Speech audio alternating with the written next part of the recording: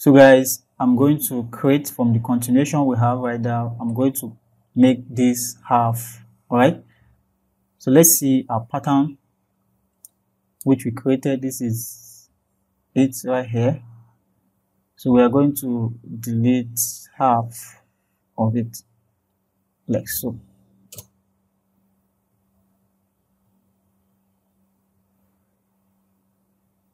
I'm going to split it. Okay. On suspend. Take this out.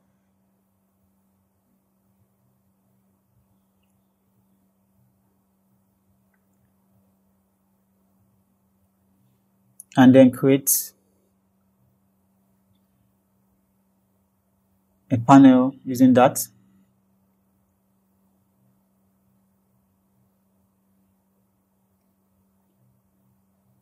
Let's call it panel 6 right? So we say okay. Now that's fine.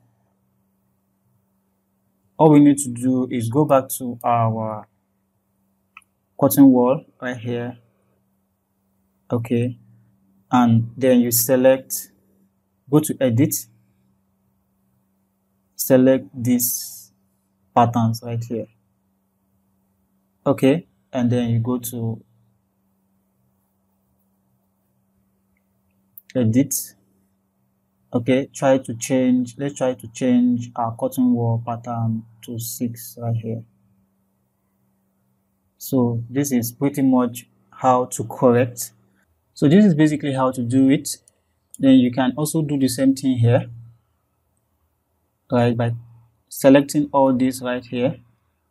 Okay go to the settings and change the panel to the panel we created. I think it's panel 6 and then you correct that particular pattern okay? So this is how to correct it correct those incomplete patterns. So thank you so much for sticking by. Thank you so much for joining our membership program.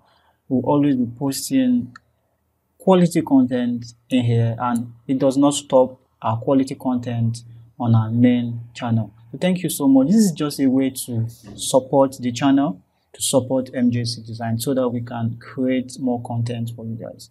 So thank you so much and I will see you in my next one. Bye-bye.